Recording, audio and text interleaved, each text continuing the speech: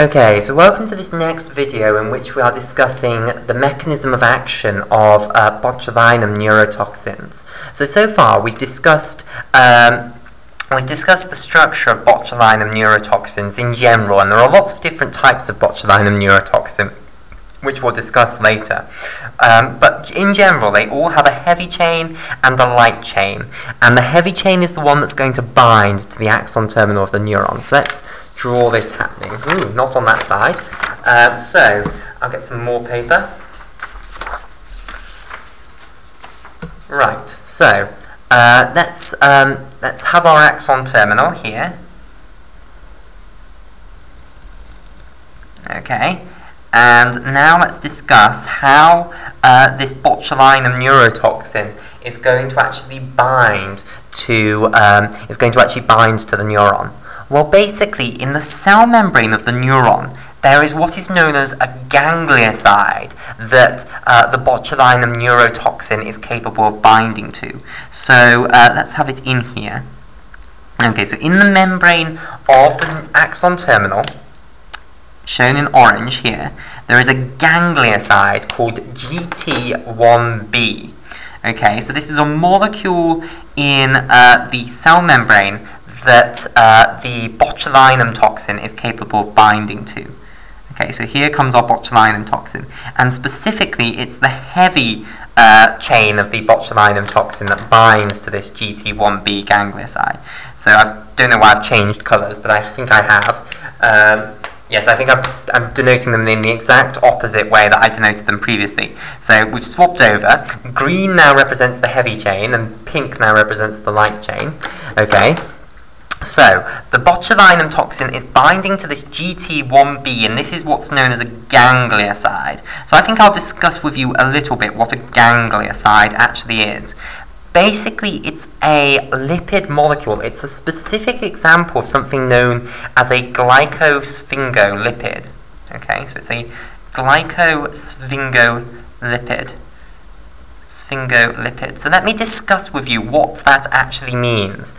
Now, basically, in order to discuss what a glycosphingolipid actually is, I need to discuss with you what the structure of a molecule known as sphingosine is. Sphingosine. Okay, now the proper name for sphingosine, or the chemical name for sphingosine, is 2-amino, 2-amino, 4 octadecene, octadecene, decene, one free diol. Okay, now sphingosine might sound cooler than 2-amino for octadecene 1,3 diol, but the nice thing about this name that chemists came up with is that this tells you exactly what the structure of this molecule is. So, basically, it's an 18 carbon molecule. Don't worry, I'm not going to draw 18 carbons out. Because the only carbons that are actually interesting are the first, the second, the third, the fourth, and the fifth. So let's draw out the first five. And you might be wondering, well, why do I need the fifth? Well, because this decene, that means that you've got a double bond at some point. This tells you it's on the fourth carbon, but that means it must be between the fourth and the fifth carbon, basically. So that's why the fifth carbon becomes important. Okay, so the rest of it we'll draw in a moment. So, what do we know? We know of the first carbon we have a hydroxyl group. Okay, so that's our 1,3 diol here. It also means we have a hydroxyl group of the third carbon. So, okay, these two groups have come from that 1,3 diol on the end there. Okay, we also know that we have this 2-amino here, so that means we have an amino group of the second carbon here. So this group here has come from this bit of the name. Finally, we also know that we've got this octadecene, and it's off the fourth carbon, so that means we have a double bond here. And that basically is all the interesting things about this molecule. So 4-octadecene is this double bond here. Okay, right, so now all we need to do is put the rest of the carbons on and then just bind everything else to hydrogen. So we've put on five carbons. Octadecene means that we should have 18. So we've got 13 left, basically. So that means we're going to have to have um, we're going to have to have 12 methylene groups and then a final methyl group on the end. So, because I don't want to have to draw out 12 methylene groups, what I can do is put one methylene group in a bracket like this, and then put 12 at the bottom to denote repeat this 12 times, and then finally I'll just have to draw out the final one, because that's not a methylene group, that's a methyl group.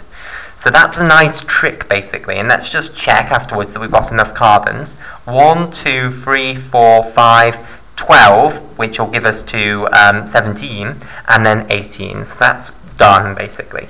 Now, we just need to saturate everything here. So we just need to add on hydrogens wherever there's a free bond. So there's free bonds off both of these. There's also a free bond off this, so let's put a hydrogen there. Okay, there's a free bond off this carbon, and then there's two free bonds off this final carbon here. So that is the structure of the molecule known as sphingosine. Okay, now, before we can discuss what a glycosphingolipid is, we also need to first discuss what a ceramide is, because a glycosphingolipid is a modified ceramide, basically. It's a sphingolipid where the extra group is a sugary molecule. Okay, right. So now let's discuss what a ceramide is. To make a ceramide, you take the sphingosine molecule, so let's just copy out our sphingosine molecule. Here are five important things. And then we have our methylene group here, okay, which we repeat 12 times. So we'd use our nice tricks that we don't have to draw out methylene group 12 times. And then we have this methyl group on the end here. Okay, now uh, we have this double bond between the fourth and the fifth carbon. We have our hydroxyl group coming off the uh, third carbon, an amino group coming off this second carbon, and a hydroxyl group coming off this first carbon, and then hydrogens everywhere else. Okay, so this is the structure of our sphingosine. Okay, right. So, um, unfortunately, I've forgotten to actually make the modification that we need to in order to turn it into a ceramide. So, to convert it into a ceramide, what you do is you take some carboxylic acid group here. Let's say this is a carboxylic acid, and I'll just put an arbitrary R group there to denote that this could be any old thing here. So we're going to take this carboxylic acid and we're going to form an amide link between this uh, amino group and this carboxylic acid. Okay, so let me draw that. So I'll take this amino group and we'll um, show the modification we're going to make. So here's the amino group here. We take off one of these hydrogens and we take off the hydroxyl group of this carboxylic acid, bind them together to make water, and then we link the carbon here to that nitrogen. Okay, like so and then we have a hydrogen still off there. So that is what we're going to put in the place of this amino group to turn sphingosine, which I've drawn here, into a ceramide. So ceramide is not a specific molecule. Sphingosine was one molecule, which is why we had this proper name for it. A ceramide is not one molecule because you have this arbitrary R group here. So it's a whole class of molecules. It's an infinite class of molecules. Okay. So, that's what a ceramide is. So what's a sphingolipid, and more importantly, what's a glycosphingolipid?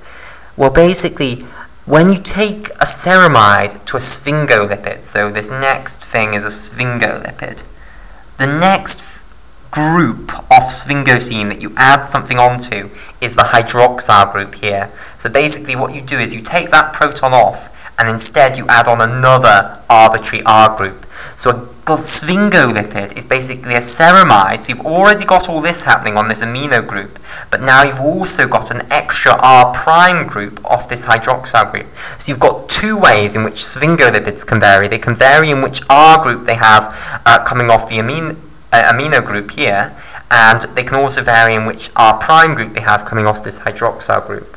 Now, a glycosphingolipid, glycosphingolipid basically means that this R prime group here is carbohydrate in origin. It's made up of sugar molecules, okay?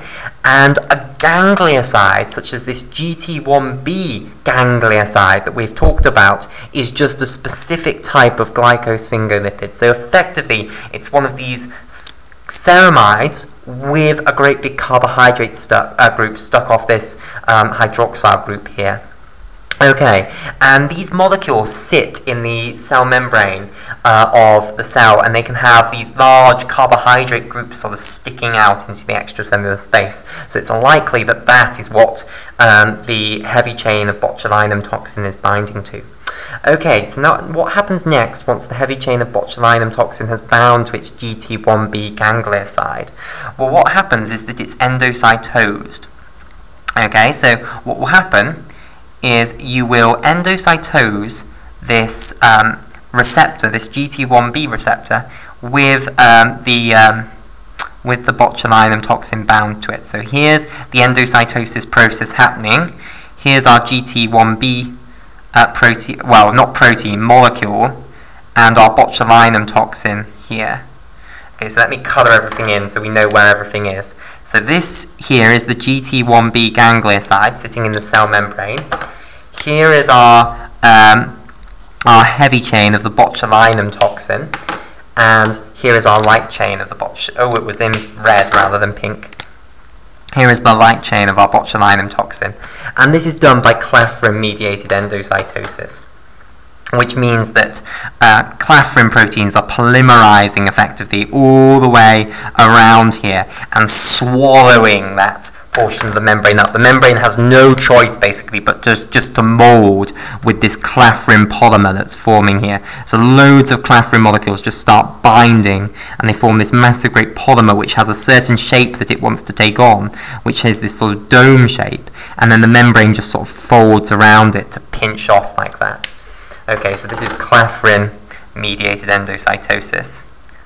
Clathrin mediated endocytosis. Now what will happen is um, the um, vesicle will eventually bud off and it will be in the cytoplasm at the uh, axon terminal and also what will happen is that the uh, clathrin coat that you've got because you totally covered in this clathrin polymer once the vesicle is just formed that will uncoat basically so what you will go to have the next stage in this is if this is the axon terminal here,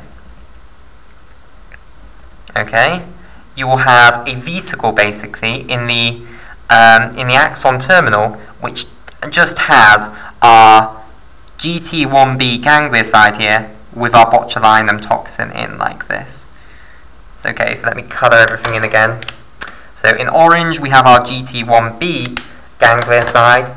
In green we have our heavy chain of the botulinum neurotoxin okay? And then in red, we have the light chain of the botulinum neurotoxin.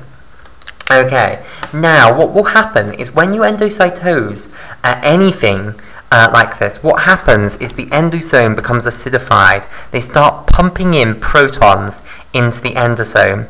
Now, when the pH goes down in that endosome, uh, as it will do because you're making the proton concentration go up. So remember, pH, um, a lower pH, like pH 1, means very high proton concentration. So when the proton concentration goes up, that's the pH going down. They're just equivalent ways of saying the same thing.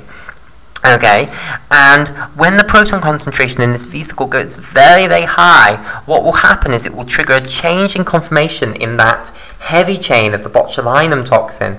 And what it will do is it will um, but it will change conformation and it will cleave off from the light chain. But before it cleaves off from the light chain, it will move the light chain into the cytoplasm. So what will happen is the light chain is going to go into the cytoplasm of the axon terminal.